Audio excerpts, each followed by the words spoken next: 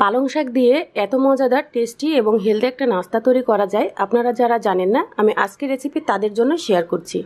Special নাস্তাটা তৈরি করার জন্য প্রথমে যে জিনিসটা আমাকে রেডি করে নিতে হবে সেটা হচ্ছে পালং শাক। এই রেসিপিটা দেখলে আপনারা পালং শাক বেশি পরিমাণে খাওয়ার একটা সোর্স খুঁজে পাবেন, ইনশাল্লাহ আশা করি। এই পালং শাকটাকে প্রথমে ভালোভাবে ধুয়ে জড়িয়ে নেওয়ার পরে কুচি করে নিতে হবে। আমি আমারটাকে কুচি করে নিচ্ছি।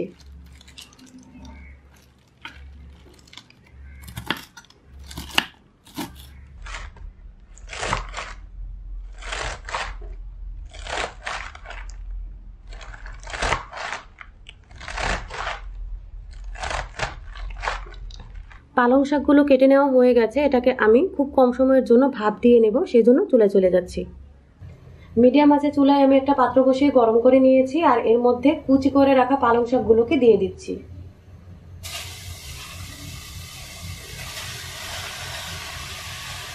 তিন চার মিনিটের মতো স্প্যাচুলা দিয়ে মিডিয়াম আছে এভাবে যদি আপনারা একটু নাড়াচাড়া করে নেন, তাহলে দেখবেন যে কাঁচা গন্ধটা চলে গেছে, আর পরিমাণেও একেবারে চুপসে কম হয়ে এসেছে। পালং শাকগুলো আমার ব্যাটারের মধ্যে দেওয়ার জন্য রেডি হয়ে গেছে। দেখুন, এরকম অবস্থায় হলে চুলা থেকে আমি নামিয়ে একটু ঠান্ডা করে নিচ্ছি। আমি হাফ কাপ পরিমাণ বেসন নিয়ে নিচ্ছি। ওয়ান ফোর্থ কাপ ময়দা নিয়ে নিচ্ছি। এর মধ্যে দিয়ে দিচ্ছি one four spoon baking powder. সাথে অ্যাড করে দিচ্ছি স্বাদ মতো লবণ। ওয়ান ফোর স্পুন দিতে হবে হলুদের গুঁড়ো। ড্রাই ইনগ্রিডিয়েন্টসগুলোকে আমি খুব ভালোভাবে মিশিয়ে নিচ্ছি একটা বিটার দিয়ে। এর মধ্যে আমি অল্প অল্প পানি অ্যাড করে একটা ব্যাটার তৈরি করে নেব।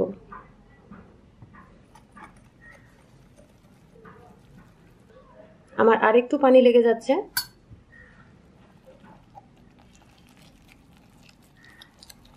কিছুক্ষণ এভাবে আমি বিট করে নিয়েছি আর এখন এর মধ্যে দিয়ে দিচ্ছি স্ম্যাশ করা আলু। আমি একটা মিডিয়াম সাইজের আলু দিয়েছি।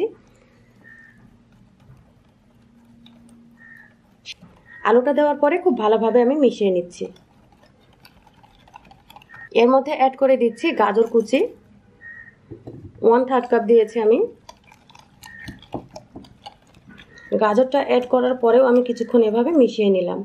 এখন কিছু বেছে ধুয়ে রাখা ধনিয়া পাতা নিয়ে নিয়েছি। এই পাতাগুলোকে কুচি করে নিতে হবে।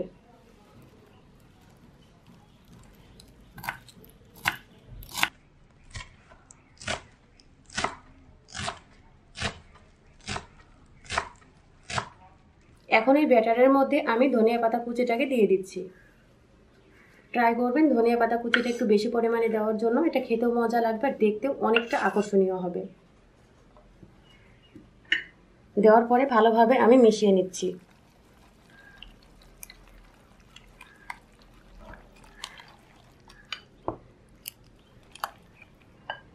মিশিয়ে নেওয়া হয়ে গেছে ধনিয়া পাতাটা।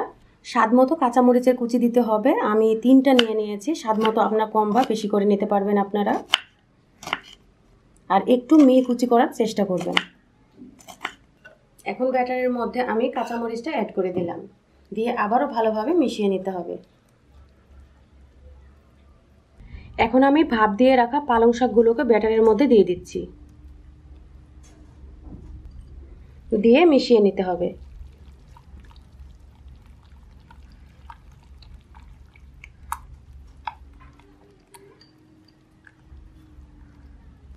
ভালোভাবে মিশিয়ে নেওয়ার পরে এখন আমি চুলায় চলে যাব।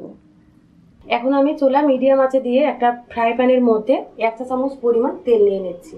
এই নাস্তাটা আপনারা খুবই কম পরিমাণ তেল দিয়ে করতে পারবেন। এখন আমি একটা টিস্যু দিয়ে এই তেলটাকে ভালোভাবে ফ্রাই প্যানের সম্পূর্ণ নিচের অংশের সাথে এভাবে মেখে নিচ্ছি।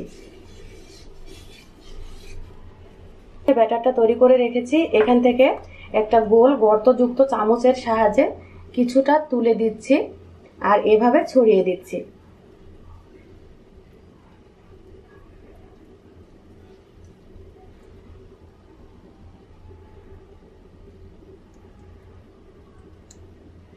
মিডিয়াম আঁচেই চুলাটা থাকবে। এখন আমি অপেক্ষা করব নিচের পিঠটা ভাজা ভাজা হয়ে শক্ত হওয়া পর্যন্ত।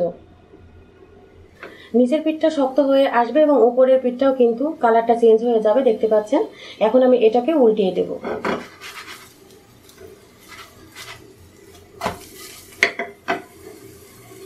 এভাবে উল্টিয়ে দিলাম আমি। আপনারা এরকম পাতলা সাইজের স্প্যাচুলা দিয়েও উল্টিয়ে দিতে পারবেন।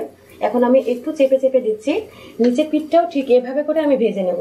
খুব বেশিক্ষণ কিন্তু চুলার উপরে থাকা যাবে না, কারণ এই নাস্তাটা কিন্তু খেতে একটু তুলতুলেই হবে। সবজি দিয়েছি, আর বিশেষ করে পালং শাকের কারণে খেতে খুবই মজা লাগবে। আমি অপেক্ষা করছি নিচের পিঠটাও ঠিক এভাবে ভেজে আসা পর্যন্ত।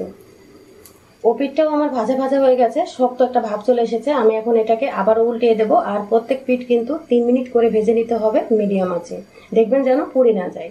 এখন আমি উল্টিয়ে দেখাচ্ছি।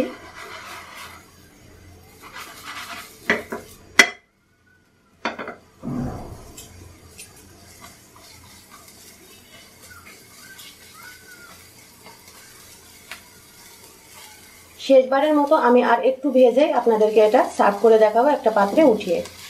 ভেজে নেওয়া হয়ে যাওয়ার পরে এটাকে তুলে নিচ্ছে আর একটা পাত্রে রেখে দিচ্ছি। এভাবে সবগুলোকে ভেজে নিয়ে আপনাদেরকে আমি দেখাচ্ছি। পালং শাকের তৈরি স্পেশাল হেলদি নাস্তাটা তৈরি হয়ে গেছে। পরিবেশনের জন্য একেবারে রেডি গরম গরম তৈরি করে পরিবারের সবাইকে নিয়ে খেতে পারবেন। এতটা নরম বাচ্চারাও খেতে পছন্দ করবে। আর আপনারা যদি এরকম ছোট সাইজের করতে চান, তাহলে করতে পারবেন, বড়টা করলেও করতে পারবেন। ছোট সাইজের যেগুলো, সেগুলো কিন্তু দেখতে অনেকটাই সুন্দর লাগে। এটা তৈরি করার জন্য এরকম ছোট্ট একটা ফ্রাই প্যানও কিন্তু করা যায়। এখন আমি আপনাদেরকে একটা কেটে দেখাবো।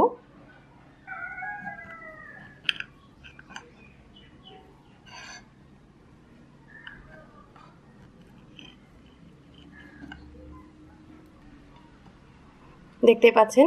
ভিতরের লুকটাও কিন্তু সেই রকম সুন্দর হয়েছে। সবগুলো ভাজা ভাজা এবং সিদ্ধ হয়ে গেছে যে সবজিগুলো আমি দিয়েছিলাম। তো আজকে এ পর্যন্তই। এরকম সহজ এবং মজাদার সাথে রেসিপি নিয়ে আবারও আপনাদের মাঝে হাজির হয়ে যাব। ভিডিওটি দেখার জন্য আপনাদের সকলকে ধন্যবাদ। আগামী রেসিপি আসা পর্যন্ত সবাই খুব ভালো থাকবেন। আল্লাহ হাফিজ।